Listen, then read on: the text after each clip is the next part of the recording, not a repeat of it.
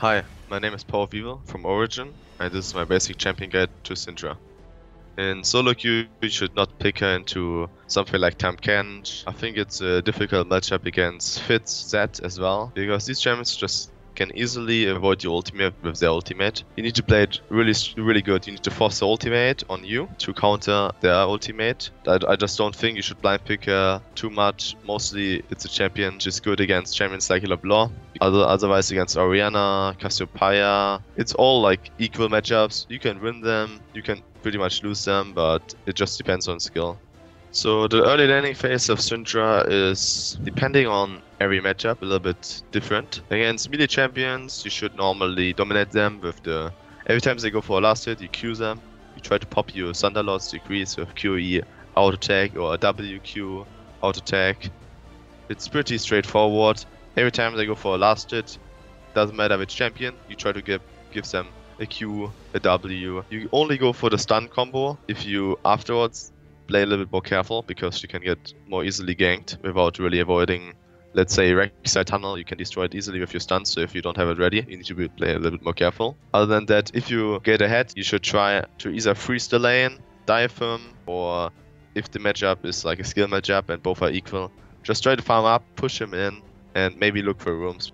Okay, the, the central positioning in team fights, if you can get the carries without being in danger, it's pretty good. If not, if you can't reach the back backline, you should uh, try to hold one of the more squishiest tanks. So you have a lot of balls on the ground, and you can pretty much E stun four or five people if possible. And obviously, if you can somehow get a catch before the team fight, just burst everything on the AD carry or on the mid laner. It doesn't really matter. If you kind of get the feeling how to hit the stun and how much range you have with the stun, because that's I think the most trickiest part on Syndra. You have already like 90% of the champion learned.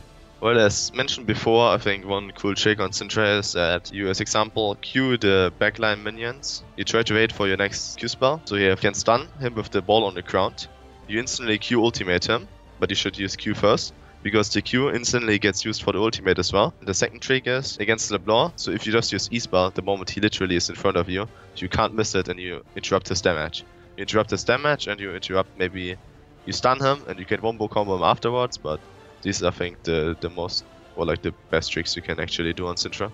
Okay, so in red uh, runes, I'm taking Hybrid Penetration because I really like to have the magic and armor penetration in nearly every matchup. It helps you just to auto take trade, to magic trade with spells, so I just feel like they're really worth it. In yellows, I take the HP per level. You can use armor flat if you're playing against Zed, Talon, maybe Varus, but in nearly other any other matchup, I would suggest going HP per level. And in blues I take 6 times CDR per level. And you can choose to take 3 times AP per level in the blues afterwards, or magic resistance per level, magic resistance flat. It kind of just depends on you as a player, what you prefer and what you like. And quints are just standard, 3 times 5 AP. Okay, so I'm going 12, 18, 0. I'll, I'm, I like to go the feast just for laning phase, getting 20 HP every 20 seconds is just pretty good. Afterwards, I go for the Bounty Hunter. As Syndra, you're like an assassin player, so you get a lot of kills normally, and you can normally always use this. In the 18, I go for the cookies, which is pretty standard, I would say. Going for a dangerous game. I don't really like the bandit, so I would always say you should go for a dangerous game. And then at pretty much, I think I'm at the moment trying out going for the 5% CDR and going for Thunderlord de Decree because if you go for the 5% CDR, you can reach 45% um, CDR with the items, the runes and masteries together with a quite good item build. I'm at the moment just trying to figure out how many balls you can keep on the ground for the ultimate and every Q who's on the ground deals more damage so I'm still trying that out but I think it's pretty good. Level 1 I nearly always go Q. There's only one option when I take W and that's against Kassadin. If you Q him and he Qs you, he will block the whole damage of your Q spell.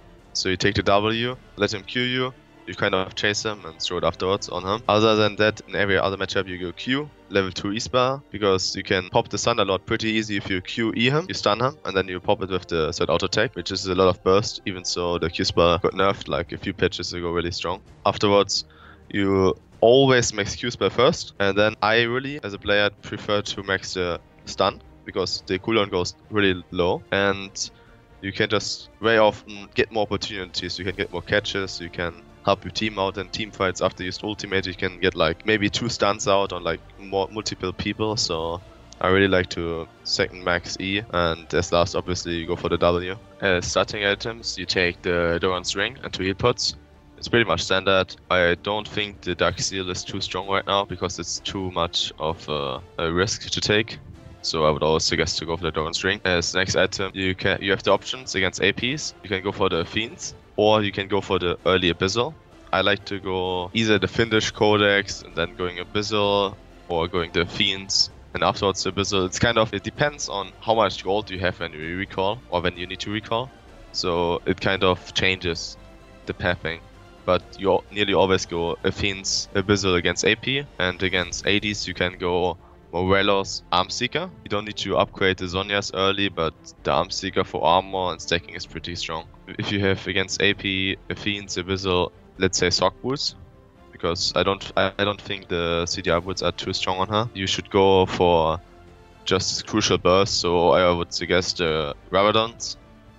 And then you have the option to instantly go afterwards Void Staff. So you have pretty much five items and then lays on you again. You can go for the Rylai's, what I really like, or you can go for the Ludens if you want more movement speed. You can go for Zhonya's even so you are playing against an AP because you can, let's say, uh, destroy the 6 ultimate if you use Zhonya's. And the item build kind of changes to AD just the Fiends changes to Morelos, and the Abyssal changes to um, Ludens, early Rylai's. You don't need the Void Staff too early. I think it's more important to get um, the Rabadons as like third item, fourth item, before you go for the Void Staff. Because with the Abyssal, let's say Sorc Boots, you have already a lot of magic penetration, and normally you just need crucial AP. Thanks for watching this Syndra Basic Champion Guide. Make sure to check out the rest of the guides over at lolclass.com.